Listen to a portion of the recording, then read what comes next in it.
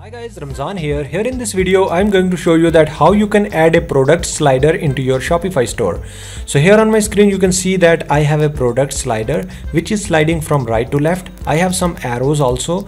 And the best thing is like you can change the background of uh, these arrows. And one more thing is like we have a view all button. So which you can show it from here.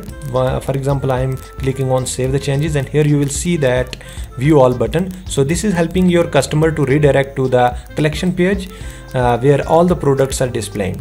So let me show you step by step that how you can implement this same feature into your store by just copy and pasting the code. Firstly, I'm going to remove this uh, section from here. So let's click on save.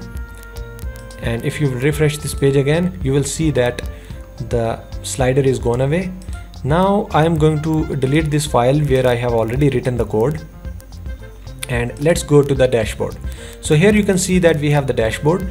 Uh, I have installed Dawn theme. If you have any other theme then still this feature will work. Click on these three dots. Click on edit code. Here we have some files and folders. Click on sections. Click on add a new section and right here products dash collection dash slider. And then click on done.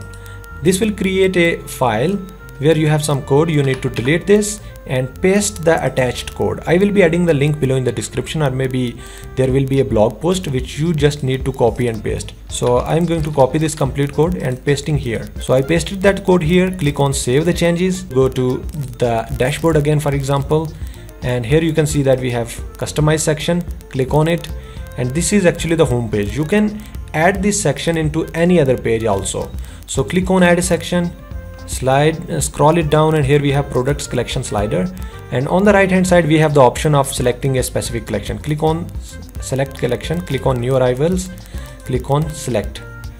And once you are clicking on save then automatically that slider will be available here. So by default the arrows background will be uh, black color which you can actually modify from here. So one more thing is like we have uh, the option of view all button which is not displaying here. If you need that you can actually click here. And one more thing is like you can change the background arrows color. So for example I am choosing this color background and click on save. Now you can see that we have view all button here and we have also the arrows. And you can also change the background color of this uh, view all mm, button also. So this is uh, also sliding from right to left automatic seeing its preview on the home page now you can see that we have this kind of this if you are clicking here or maybe sliding like this it will also work. But this has the functionality of auto slide as well. So that's how you can implement this same feature into your store. If you have any problem you can ask me questions in the comment section. Thank you so much for watching this video. If you are new on this channel then please subscribe this channel. You can give me the suggestion like which kind of uh, content you need so i will be creating that kind of feature for you. Thank you so much once again. See you in the next video